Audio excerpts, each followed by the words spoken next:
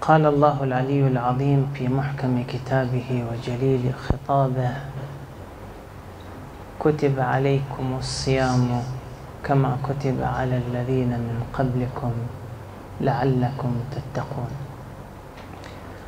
في الواقع كلمة مختصرة جدا بما أن اللقاء لقاء أمسية. لم أتعب نفسي في تحضيرها. وإنما هي إثارات من الجيد أن أذكر بها نفسي في هذا الشهر الكريم. من المهم للمؤمن أن يستحضر الهدف الذي يريد أن يصل إليه.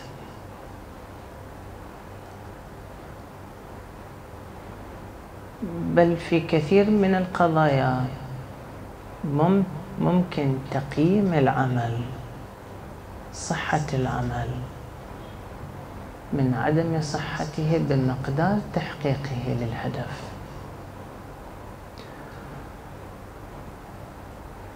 القرآن الكريم يشير إلى أن هدف الصيام هو أن نصل إلى التقوى.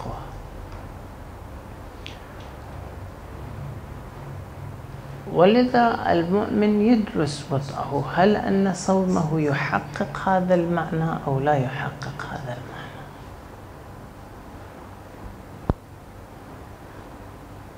يكتشف ما قبل الشهر الكريم أو في كل يوم من أيام الشهر الكريم هل هناك تغير في شخصيته؟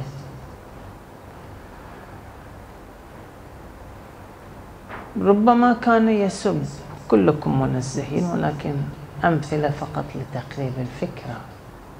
يغضب على زوجته يهين زوجته يسب زوجته يضرب زوجته على المستوى الأسري. في مجالس الاجتماعية يستغيب يسقط ينتقد بعنف. على مستوى المجتمع الاحتكاك الاجتماعي لا يغض بصره ينظر نظرة الحرام يشتهي الشهوة الحرام يفتح التلفاز وينظر نظرة الحرام. عندما تمر ساعات الشهر الكريم هل هناك تغيرات على هذا المستوى أو لا؟ في الخبر الشريف عن أمير المؤمنين أشجع الناس من غلب هواه. يعني إذا أردنا أن ندرس البشر والناس ونشخص أقوى البشر أشجع البشر من هم؟ هم من يسيطرون على هواهم ولذا ورد عن الباقر صلوات الله عليه لا قوة كغلبة الهوى القوة تكمن القوة الحقيقية هي تبرز في إيه؟ في أن الإنسان يتحكم في هواه بأن يجعل كل عمل خالص لوجه الله سبحانه وتعالى ولذا إحنا أيام المدارس تستذكرون قصة تعلمناها من الكتب المدرسية. أن أمير المؤمنين صلوات الله عليه لما جثم على عمرو بن ود وأراد أن يستل رأسه يقطع رأسه بصق في وجهه. ولذا يقال أن الأمير قام ومن ثم عاد إلى عمرو بن ود. الآن واحد مسيطر عليكم من عند عمرو بن ود وما أدراك ما عمرو بن ود. ولذا لما سئل الأمير قال قد بصق في وجهه. ربما في الوضع الطبيعي أن الإنسان يعطي ردة فعل. فربما يشوب هذه الضربة ما ليس لله. ولذا الأمير محض خالص لوجه الله سبحانه وتعالى. ولذا المؤمن يريد أن يحقق هذه الغلبة. يريد أن يصنع القوة في شخصيته. وهذه انعكاساتها على كل أبعاد حياة الإنسان. أحد العلماء على ما في بال يقول من أخطر الآيات التي تمر على ذهني أن الذين ظل سعيهم في الحياة الدنيا وهم يحسبون أنهم يحسنون صنعا. يعني من أخطر ما يمر في حياة الإنسان سواء كان في بعده الأسري في بعده الاجتماعي في بعده الاقتصادي في بعده السياسي في بعده العسكري أنه يسير على منهج يتصور أنه المنهج الصحيح وأنه يتقرب به إلى الله عز وجل ولكن ليس كذلك. سئل الكاظم صلوات الله عليه ما العجب الذي يفسد العمل؟ أنا شنو العجب اللي يفسد عملي؟ ما يخليني أتقرب إلى الله سبحانه وتعالى. فقال صلوات الله عليه العجب درجات. منها أن يزين للعبد سوء عمله فيراه حسنا ويعجبه ويحسب أنه يحسن صنعا الإنسان نتيجة اتباع للهوى أحيانا يعجب برأيه يستبد برأيه ويتصور أنه الحق النازل من السماء وأن ما عداه في الواقع على باطل. السلام ولذا كيف الإنسان يستطيع فعلا أن يتجرد عن الهوى؟ إذا تلاحظون كثير ما نؤثر يعني حتى إذا واحد أراد ينزل على الأرض كثير ما نؤثر علاقاتنا بالدين. الآن تعالوا لو أردت أن أقسم الوضع السياسي عندنا بالبلد وعادة ما أرغب. لاحظوا قسموا المجتمع. أعتقد ممكن أن أقسمه بنظرة أولية إلى ستة أقسام. تلاحظ عندنا قسم إسقاطي إن صح التعبير. عندنا قسم إصلاحي. عندنا قسم خلني أسميه اتقائي يعني ممن يعمل بالتقية ويحرم الحراك. وهذا قطاع عام ليس بسيطا صح هو برأسه في الرمال يعني لم لم تحن له الفرصة أن يبرز رأسه ولكن في قطاع لا بأس به. هناك قسم خلنا نعبر عنه انتهازي. هناك قسم إرضائي يميل مع السلطان. بشكل وآخر ممكن أن أقول هناك قسم انهزامي ما إلي على كل حال يحاول أن يبتعد ويفر من ساحات الوراء الآن أترك الأقسام الثلاثة. خلنا الآن مع الأقسام الأولى. الإسقاطي الإصلاحي الاتقائي كل واحد ينطلق من رؤية دينية. وكلهم متدينون. يعني حتى الذي يحرم الحراك ويأتي بروايات ويأتي بآيات ويقيه بوضع سياسي. الآن لست في صدد من هو الصح ومن هو الخطأ. إن شاء الله كلهم مجتهدون. وكلهم يرجون ما لا يرجون الله سبحانه وتعالى. المحرم والمجوز والمحلل والموجب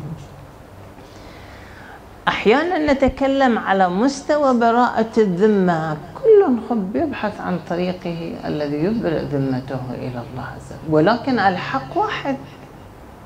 في علم الله لابد أن يكون الحق مع أحد هؤلاء. ليش اذا هذا الاختلاف في الإطار العام جزء كبير منه بحسب اتباع الهوى. الآن أنا ما أحدد من. أضرب مثال. هذا حتى إحنا نكون دقيقين في على مستوى الأرض في حياتنا. أتكلم الحياة الذاتية. الآن ما ينفع عادل الشعلل والعالم صفقت ليه أو العالم ثبته. أنا إذا جيت بين يدي الله سبحانه وتعالى أملك حجة فعلا تبرئني أمام الله أو لا لحظ سئل الأمير صلوات الله عليه. كم بين الحق؟ قال بين الحق والباطل أربع أصابع. ووضع يده بين عينيه الآن فإن رأيت شيئا فهو الحق. أو ما رأيته فهو الحق وما سمعته وما سمعته فأكثره باطل. الآن تعال إلى الواقع. الأكثر قال فلان قال فلان قال فلان قال فلان. في كل الق... أو في أغلب القضايا قال فلان.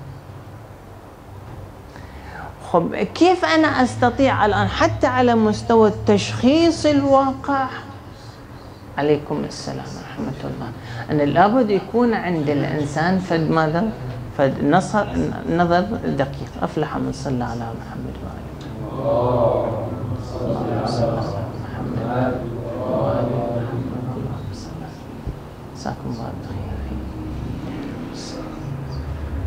فالإنسان لابد فعلا أن يطمئن بينه وبين الله سبحانه وتعالى. يعني في تقييم القضايا في تشخيص القضايا. أحيانا الكثير منا يعتمد بشكل كبير أحسنت رحم الله والديك سقاك الله من الكوثر. يعتمد على في الواقع مزاجه.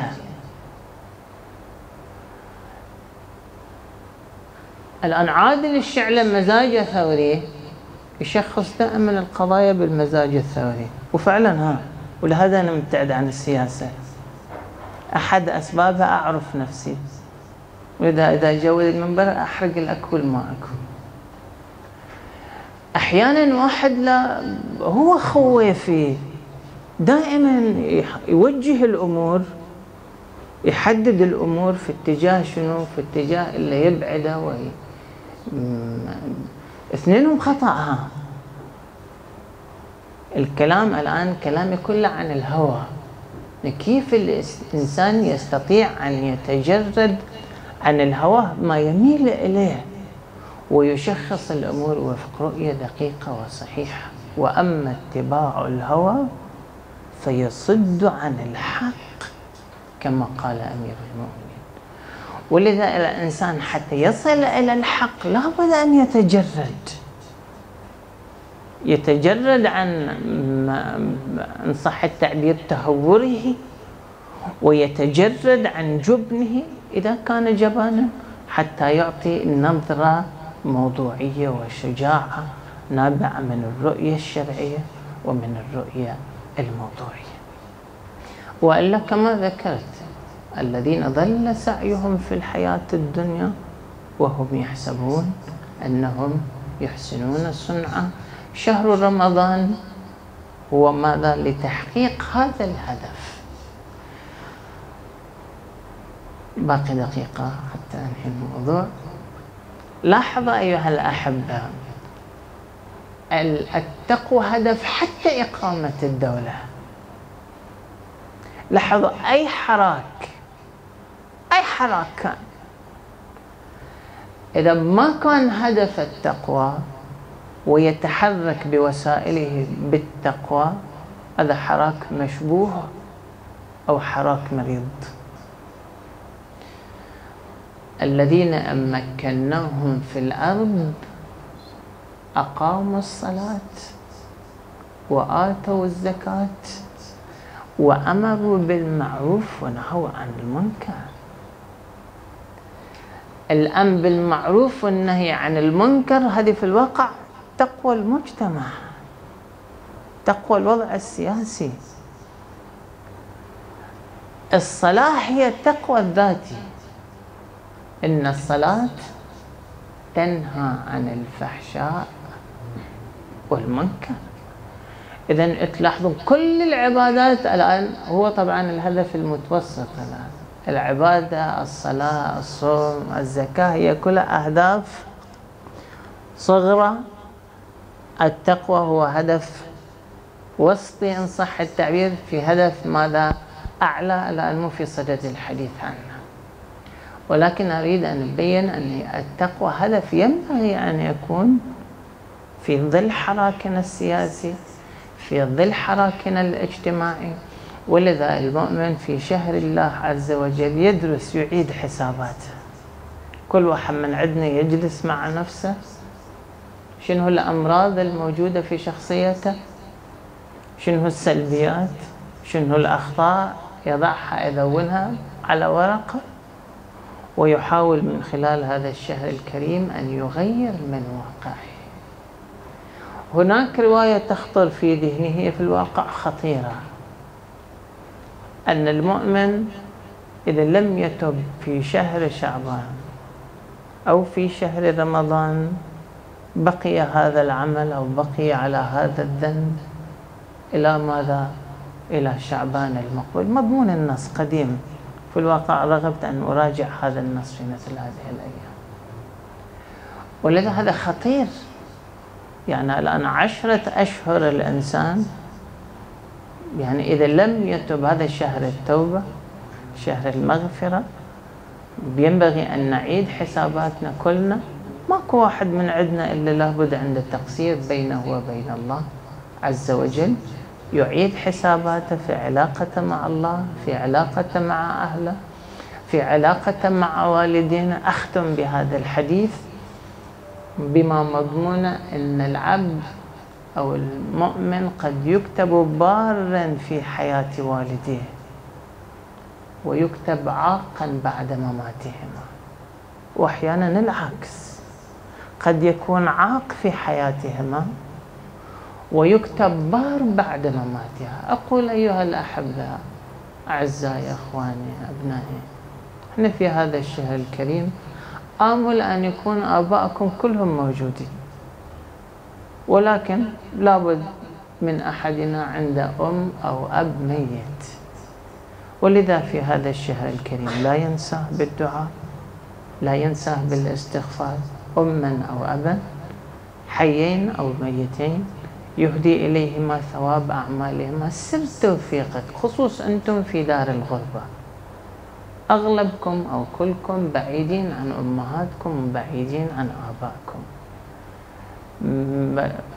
دعاء الأم اهتمام الأم هو سر توفيقكم في الغربة.